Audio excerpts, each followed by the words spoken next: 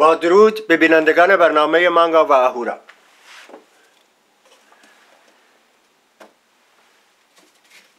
در برنامه پیش ما عکسی رو نشون دادیم و گفتیم که یک آخوند به نام میرزا حسین علی نوری در نیمه قرن نوزدهم نیمه دوم قرن نوزدهم خودشو پیغمبر خواند. حالا شاید خیلی با این نام آشنا نباشن. میرزا حسین علی نوری پس از اینکه خودشو پیغمبر دونست و چند نفر بهش باور کردن نام خودشو بهاءالله گذاشت و پیغمبر بهایا شد. آخوند میرزا حسین علی نوری پیغمبر بهایی است. و اما همچنان که در برنامه پیش گفتیم درباره تغییر دادن قبله سخن گفتیم. اما در این برنامه یه خورده به آغاز باز میگردیم. به هنگامی که محمد و پیروانش از مکه بیرون میرن. هنگامی که محمد و پیروانش از مکه بیرون میرن تصمیم به جنگ می‌گیرن. جنگم چی بوده؟ به کاروان زدن. این کاروان هایی که از مکه می‌رفتن بیرون برای اورشلیم و دمشق اینها رو می‌زدن. در واقع جنگ نبوده. زیرا اینها رفته بودن به اصلاح دنبال کار و کسب نه برای جنگیدن. به هر حال آنچه از شواهد پیداست هنگامی که محمد و پیروانش از مکه بیرون میرن در نزدیکی های این راهی که از مکه به اورشلیم و دمشق میره در این در نزدیکی های این راه به زندگی میشنن حالا یا چادر می‌زنن یا با شاخ و برگ درختان کپر درست می‌کنن. در حال نزدیک این راه به زندگی میشینن که بتونن این کاروان ها رو بزنن. البته در آن زمان هم کاروان ها زیاد نبودن. دوتا بیشتر نبودن و شاید سه تا بیشتر نبودن. به هر حال حالا نمی‌دونم شما با راه کاروان رو آشنا باشید یا نه. معمولا راه کاروان رو راهی است که سر این راه شماری چشمه پیدا میشه که این کاروان ها بتونن هر از گاهی بشینن سر این چشمه ها و استراحت کنن. این راهی هم که از مکه به اورشلیم می‌رفته همچین راهی بوده. سر راه شماری چشمه تعدادی چشمه پیدا شده و این کاروان ها که می‌رفتن پس از یک روز نیم روز یا هرچه به, چشم به چشمه می‌رسیدن سر این چشمه ها استراحت می‌کردن. و اون جایی هم که درگیر میشن با کاروان ها سر روی یکی از این چشمه ها بوده. هنگامی که از محمد و پیروانش از مکه بیرون میرن آنچه که از شواهد پیدا است دو تا کاروان به سوی اورشلیم و دمشق میرن. یکی از این کاروان ها متعلق به ابو سفیان بوده ولی اون یکی معلوم نیست متعلق به چه کسی بوده. ولی به هر حال متعلق به یکی از افراد مکه بوده است. هنگامی که این کاروان ها میگذرند کاروان ابو سفیان جلوتر میره. حالا مسلمان ها یا ندانسته یا دانسته می‌ذارن که این کاروان ابو سفیان بگذره. کاروان دومم که فاصله چندانی با کاروان اولین نداشته این کاروانو می‌زنن. این کاروانم احتمالا همون نزدیک 15 16 نفر آدم داشته. با 10 15 تا شطور. این کاروانو می‌زنن. یه چند نفر از این کاروان احتمالا کشته میشه و بقیه رو اسیر می‌کنن. اینایی که اسیر میشن اینا رو وادار می‌کنن که مسلمان بشن. پس از اینکه مسلمان شدن چند نفر از این اسیرا رو ول می‌کنن که برگردن. و به احتمال زیاد یکی دو نفر رو که سرپرست این کاروان بودن اینا رو نگه میدارن. و از اینایی که و بینایی که مسلمان شده بودن و می‌ذارن که به مکه برمیگردن به احتمال زیاد به اینا میگن که از فک و فامیل اینهایی که اسیرن پول بیارن تا اینها رو آزاد کنن. به اصلاح به قول خودشون جزیه بگیرن.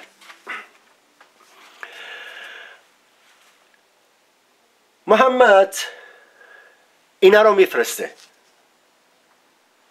و هم همچنان که پیشتر گفتیم هنگامی که محمد از مکه میره بیرون سوره توبه رو می‌گوید. سوره توبه هم در یکی دو روز گفته نشده. احتمالا یکی دو ماه طول کشیده. یعنی پس از اینکه این قضیه کاروان تمام میشه سوره توبه را هم تمام می‌کنه. به همین خاطره به اونایی که مسلمان شدن و به مکه برمیگردن و اونها در مکه دوباره سر آین خودشون برمیگردن به اینها اشاره می‌کنه. به هر حال پس از اینکه سوره توبه رو میگه خب از این کاروان آدماشو گرفتن و ول کردن و کشتن و کاروان رو غارت کردن. پس از اینکه کاروان رو غارت می‌کنن سوره انفال رو میگه. انفال یعنی چپاول غارتگری یغما. سوره انفال سوره هشتم قرآنه در حالی که میبایست از سوره های آخر می بود به هر حال چنین پیداست که این غنایمی که می‌گیرن حالا شترها بوده نمی‌دونم باری که این شترها حمل می‌کردن اونا بوده. سر اینها بین خود اون اون کسایی که رفتن این کاروان رو زدن بگو مگو میشه. و بالاخره نمی‌دونن که چکار کنن با این شترها و, و اون چیزایی که به اصلاح چپاول کردن و غارت کردن. محمد برای این سوره انفال رو میگه. در سوره انفال آیه یک می‌گوید یسالونک عن الانفال یعنی می‌پرسن از انفال یعنی از اون چیزایی که به غارت گرفتن یغما به یغما بردن چپاول کردن یا به قول خودشون غنیم به غنیمت گرفتن. الله بهش میگه قل انفال لله و رسولی. درست توجه کنید. میگه بگو انفال یعنی این چیزایی که به غنیمت گرفتید یا چپاول کردید مال الله و رسولشه. خیلی ساده.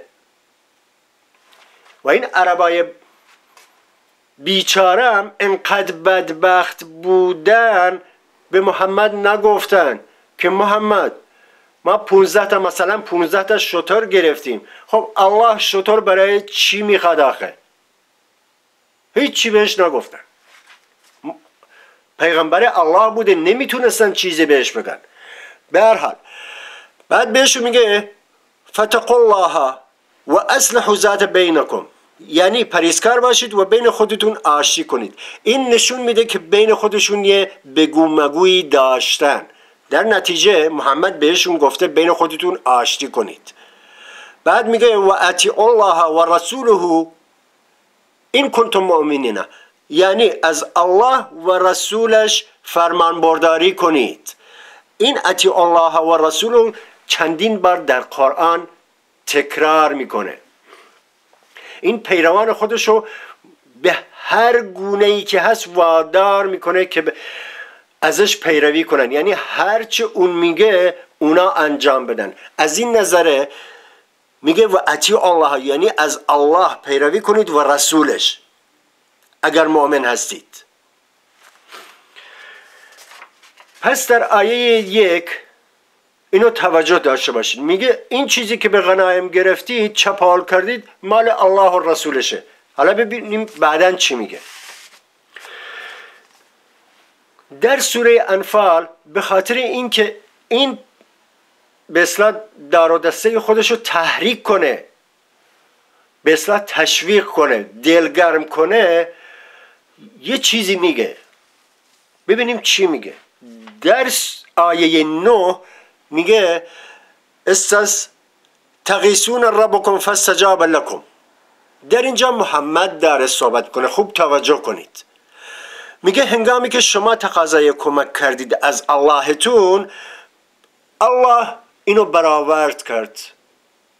همچنان که امروز ما خودمون مثلا فرض کن می‌بینیم یک کشتیگیر میره مسابقه کشتی پیش از اینکه بره مسابقه کشتی از الله تقاضا می‌کنه که اینو پیروز کنه. اینم همینطوری بوده. اینایی که رفتن این کاروان رو بزنن از الله تقاضا کردن که کمکشون کنه که کشته نشن. و محمد اینو میگه. از تستقیسون ربکم فاستجاب لکم. یعنی هنگامی که شما تقاضای کمک کردید پس این اینو, ایجا اینو برآورده کرد. تا اینجا محمد داره صحبت می‌کنه. جمله دوم خود الله وارد میدان میشه و رشته سخن رو به دست می‌گیره. و چی میگه؟ انی ممدکم به الف من ملائکتین مردفین. یعنی من شما را کمک کردم با هزار ملائکه پشت سر هم. ردیف پشت سر هم. الله خودش به اونایی که رفتن این کاروانو زدن میگه من شما را با هزار ملائکه کمک کردم. این عربای بدبختم انقدر بیچاره بودن به محمد نگفتن. خب ما اصلا یه ملائکم ندیدیم تا چه رسد به هزار تا ملائکه؟ خب اگه هزار تا ملائکه اومدن کمکمون میان کمکمون خب ما چرا بجنگیم؟ به همین ملائکه ها بگو برن بجنگن. ولی چیزی بهش نمیگن. و اینو به این خاطر میاره که اینها رو بیشتر به اصلاح خام خام کنه که برای کاروان بعدی ملائکه به کمکتون میاد نترسید.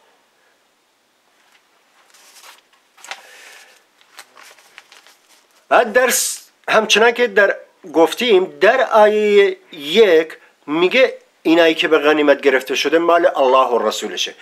ولی مثل اینکه بعدها دیگه نظرش عوض میشه. این سوره انفال مثل همه سوره ها یک جا نگفته یه چند روز طول کشیده. در آیه چهل و یک می‌گوید وعلموا انما غنمتم من شیئی یعنی و میدانید هر چرا به غنیمت گرفته اید فان لله خمسه وللرسول ولذی قربا والیتاما والمساکین و ابن السبیل این کنتم آمنتو بالله. یعنی و میدانید هر آنچه را که به غنیمت گرفته شده اینجا میگه خمسه. خمسه یعنی پنج تای أو. در برخی از قرآن ها اینو پنج تای او معنی کردن در برخی از قرآن ها گفتن یک پنجم. حالا ما همون یک پنجم رو به اصلاح معنی می‌کنیم. زیرا پنجتای او اصلا معنی نمیده. یعنی چی پنجتای او؟ حال پس میگه یک پنجمش مال الله و رسول و نزدیکان رسول و یتیما و فقرا و ابن سبیل. این ابن سبیل هم هیچ معنی نمیده. ابن سبیل یعنی پسر راه. چه معنی میده؟ حالا ما از این میگذریم. پس یک پنجمش میشه مال الله رسول نزدیکان رسول یتیم ها و فقرا. بقیهش میشه مال اونایی که رفتن چپاول کردن. در اینجا مثل آیه گذشته مثل آیه های پیشین مثل همه آیه ها تا اینجا محمد صحبت می‌کنه. یه دفعه از اینجا خود الله میاد وارد میشه. حالا ببینیم الله چی میگه اینجا. و ما انزلنا علی عبدنا یوم الفرقانی یوم التقا جمعانی یعنی و هر آنچه را که فرستادیم بر بندگان خود روز فرقان حالا معلوم نیست منظورش از این روز فرقان چیه. و روز تقا جمعانی یعنی منظورش اینه که دو تا به نیرو دو تا گروه با هم دیگه درگیر شدن. از اینجا از اینجا تا اینجا محمد داره صحبت می‌کنه. ناگهان الله وارد میشه خودش صحبت می‌کنه. میگه به هر آنچه را که فرستادیم مثلا معلوم نیست منظورش هم چی هست. یعنی چی؟ و هر آنچه را فرستادیم بر بندگان خود. روز فرقان و روز درگیری. درگیری این دو گروه. به هر حال دوباره از اینجا خود محمد صحبت می‌کنه. والله علی کلی شیء قدیرین و الله بر همه چیز توانا است. پس می‌بینید آیه های قرآن روشن نیستن. یه دفعه محمد صحبت می‌کنه یه دفعه الله صحبت می‌کنه. و این به اصلاح دانشمندان اسلام شناس و آخونده اینا رو برای مردم نمیگن. چرا اینا رو نمیگن؟ چون اگه اینا رو برای مردم بگن خب مردم بالاخره فکر می‌کنن. این یعنی چی؟ توی آیه سه نفر صحبت می‌کنه. توی آیه دو نفر صحبت می‌کنه. چون مردم خودشون اینو نمی‌خونن و چون نمی‌خونن نمی‌دونن. حالا ببینیم در آیه 69 چی میگه. میگه فکلوا مما غنمتم حلالا طیبا. یعنی پس بخورید از آنچه به غنیمت گرفتید اینها حلال و پاکیزن و تقوا الله و پرهیزکار باشید. ان الله غفور رحیم. الله غفور رحیمه تا اینجا مسئله این کاروانی که زدن تموم شده پیروز شدن غنایم به جنگ به دست آوردن به چنگ آوردن خوشحالن. در اینجا هم نه خود محمد یعنی وقتی که به این کاروان می‌زنن نه خود محمد نه ابوبکر نه عمر نه عثمان نه علی نه سلمان فارسی هیچ کدوم از اینا تو این جنگ نیستن. تنها کسی که از میان اینها سرشناسه و در این جنگ شرکت می‌کنه عموی محمد حمزه است که اونم مجبور میشه مجبور میشه که اینو سرپرستی این چل پنجا نفر بکنه. این چل پنجا نفر در واقع فقیرا بودن. بسیجیا بودن. از این بیچاره ها بودن. اینا رو فرستاده. خودشون که جنگ نکردن. اینو که مسلمان ها اسمشو گذاشتن غزوات پیغمبر غزوات نمی‌دونم چی اصلا همچین چی اصلا نبوده. اصلا محمد تو اولا هیچ جنگ اتفاق نیفتاده فقط رفتن به این کاروان زدن. اینم که جنگ نیست. بعدش هم خود محمد اصلا تو این جنگ نبوده. نه علی علی هم نبوده عمر هم نبوده عثمان هم نبوده ابو بکرم نبود هیچ کدام از اینا نبودن. اینها رو فقط این مسلمان ها فقط دروغ گفتن به ما. یه, یه چیز خیلی روشن شما خودتون این صحنه رو برای خودتون مجسم کنید. یک کاروان را میفته از مکه بخواد بره اورشلیم. این کاروان هم ده پونزده شونزده نفر بیشتر که نیستن. خب یه چیز مشخص محمد که نمیره خودش با اینا به جنگه. این فقیر و فقرا را که دنبالش را افتادن اینا رو میفرسته. در واقع بسیجی ها رو میفرسته.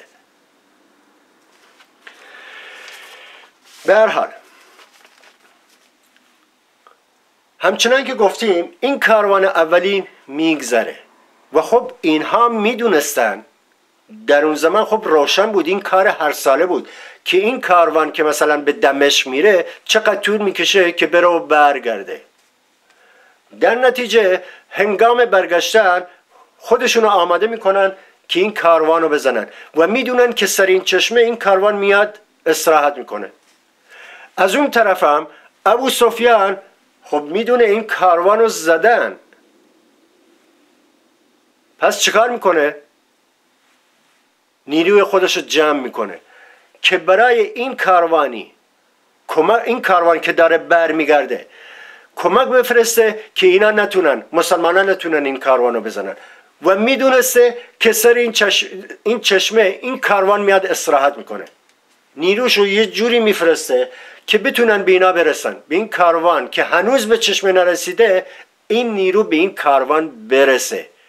ولی بر حسب اتفاق چنین پیش میاد که یه خورده دیر می‌رسن. و اینها هم براش کمین کردن.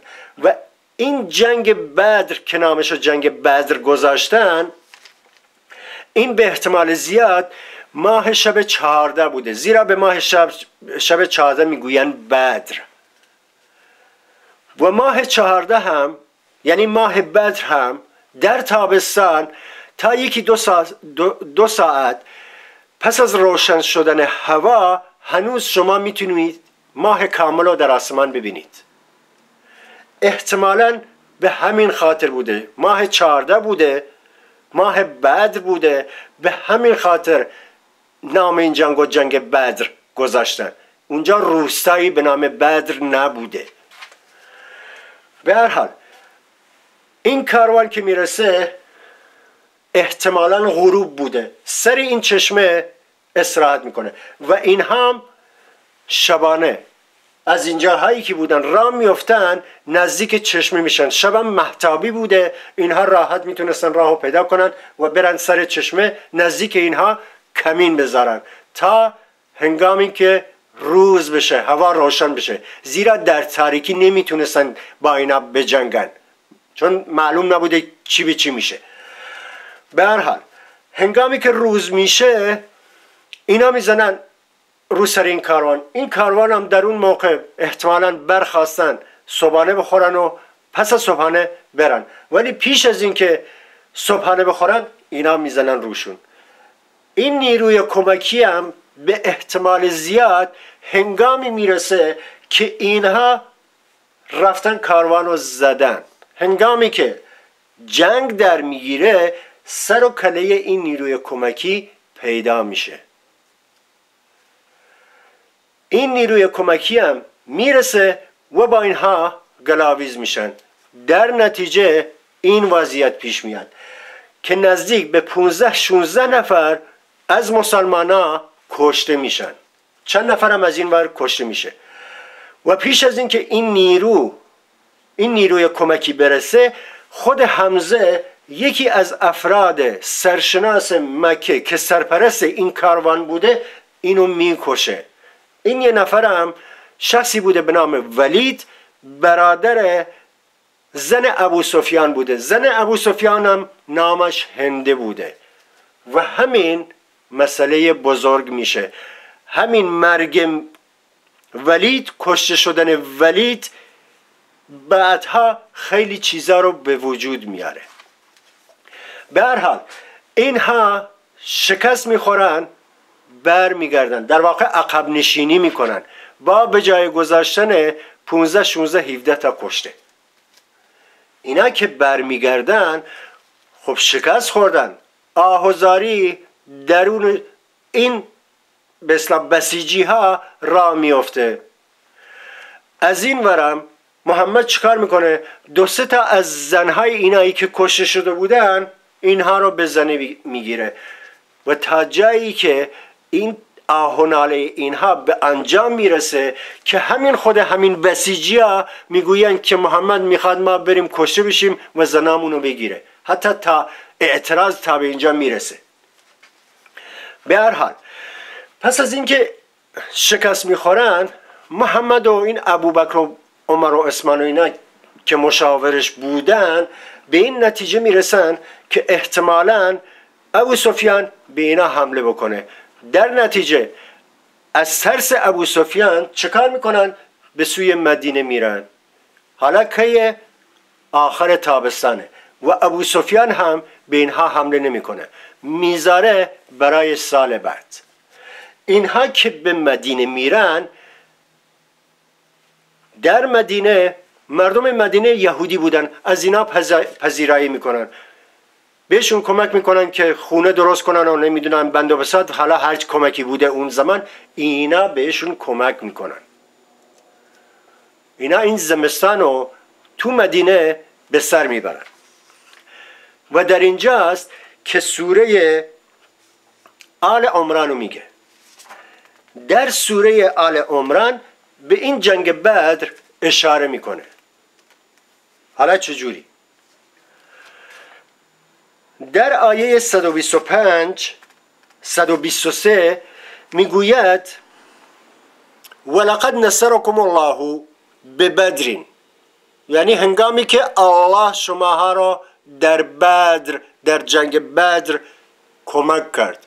و انتم ازلتون و شما زلیل بودید خار بودید ضعیف بودید. این نشون میده که نیروی ابو سفیان قویتر بوده و اینا ضعیفتر بودن. به همین خاطر میگه شماها ضعیف بودید فتقوا الله لعلكم تشکرون یعنی پرهیزکار باشید باش باعث شما شکر کنید. شکر چی کنید؟ از اینکه تونستید در درید فرار کنید. اینو میگه.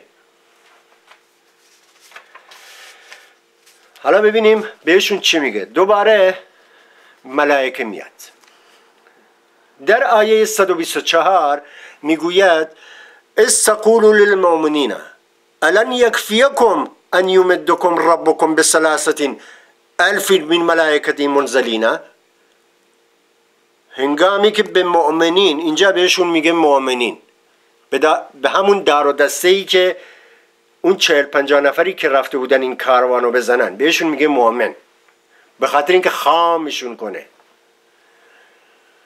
هنگامی که به مؤمنین گفته میشه آیا بس نبود که الله شما را کمک کرد با, با سه هزار ملائکه فرود آمده؟ یارو عرب بیچاره انقدر بدبخت بوده بهش نگفته محمد چی داری میگی؟ ما 15 تا 16 تا کشته دادیم و فرار کردیم. یه ملائکه هم نیومد کمکمون. تا چه رسد؟ به سه هزار ملائکه. خب نیروی ابو سفیان اونم همون در همون حدود 50 60 نفر بودن. از اون بیشتر نبودن. خب سه هزار ملائکه اگه میومد اینا رو میبایستی قتل عام می‌کردیم. ولی هیچی نتونستیم اینا رو شکست بدیم. اینها ما را شکست دادن. 15 16 نفرم کشته دادیم. دست آخرم فرار کردیم. پس این نیروهای ملائکه کجا بودن؟ اینه که وقتی که شما یک نفر میاد میگه پیغمبره اگه شما بهش باور کنید هرچه بگو هرچه اون بگه تو هم باور می‌کنی. حتی اگه بگه آسمان سیاهه تو هم میگی سیاهه. حالا می‌بینی که آسمان آبیه. ولی تو هم میگی نه سیاهه. اینم هم همینطوری بوده. سه هزار ملائکه از کجا اومدن آخه پایین؟ مگه الله تو اون بالا پادگان نظامی درست کرده؟ ملائکه ها رو آموزش نظامی میده که سه هزار ملائکه بفرسته پایین برای این مسلمان ها که برن این کاروان ها رو بزنن کمکشون کنه؟ حالا ببینیم در آیه 125 چی میگه؟ میگه بلی. این بلی همون بلی فارسیه. این سلمان فارسی بهش یاد داده. یعنی آری. آری. این تصبروا و تتقو و یأتوکم من فورهم. هذا یمدکم ربکم بخمسة آلف من ملائکت مصومین. یعنی آری. اگه صبر و شکیبایی داشته باشید و پرهیزکار باشید الله فورا به شما این کمک رو می‌کنه. این بار پنج, هز... پنج هزار ملائکه آزموده براتون میفرسته.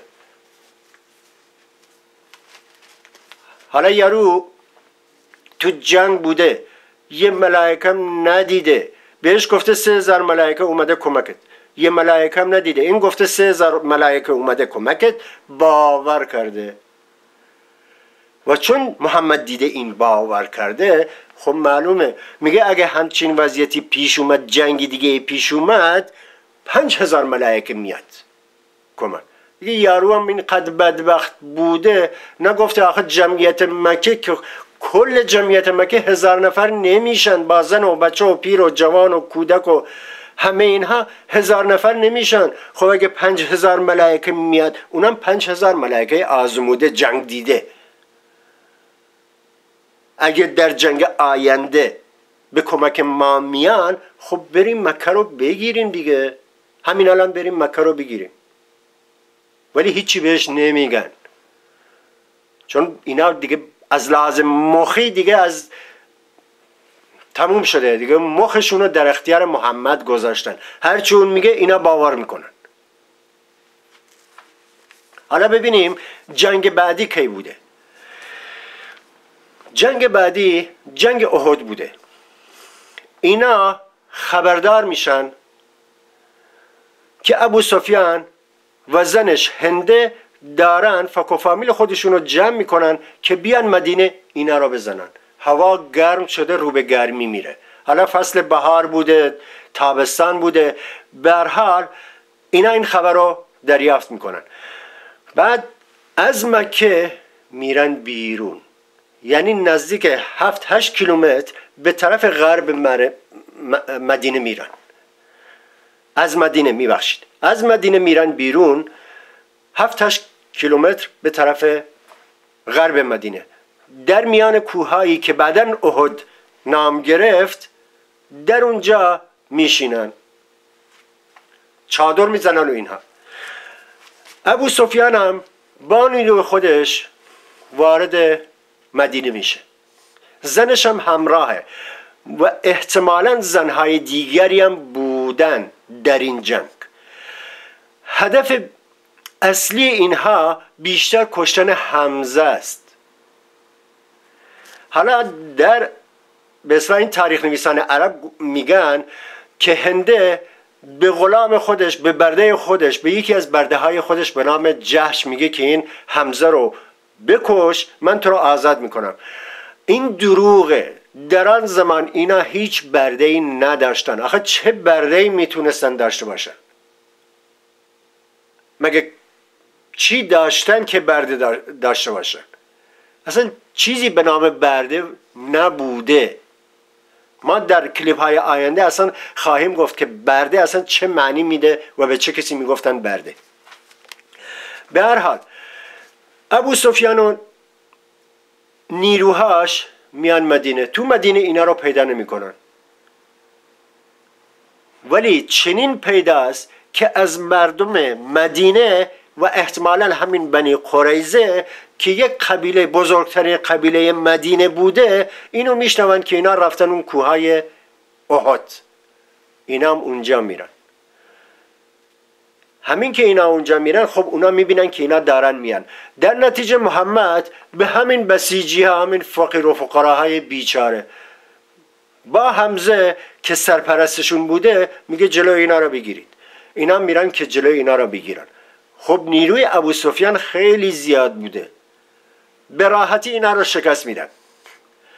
و کار به جایی می‌رسه که حمزه رو می‌زنن. حالا یا زخمی میشه با نیزه با شمشیر با هرچه. می‌زنن این میفته. حالا یا مرده یا زنده نیمه جان هنده یعنی خواهر ولید رو سر این میره. با خنجر شکمشو پاره می‌کنه. انقدر کینه ازش داشته یعنی انقدر برادرشو دوست داشته. این شکم حمزه رو پاره می‌کنه جگرشو در میاره و به دندان میجوه. پس از اینکه حمزه کشته میشه و نزدیک 20 25 نفر از اینا کشته میشن بالاخره جنگ پایان میابه خب در اون زمان هم نیرو اینطوری نبوده که برن دنبال سوراخ به سوراخ دنبال اینا بگردن. اینها محمد و اینها همین که جنگ جنگ شروع میشه خودشون فرار می‌کنن میرن. وای نمیسن میرن به یه جای دیگه. حالا اسمشو گذاشتن غزوه این کفار اومدن به محمد حمله کردن. علی اومد نمی‌دونم با زلفقارش چند نفر رو کشت پنجاه نفر رو کشت شست نفر کشت. نه علی اصلا تو این جنگ نبوده. علی شمشیری به نام زلفقار هم نداشته. اینو آخونده درست کردن.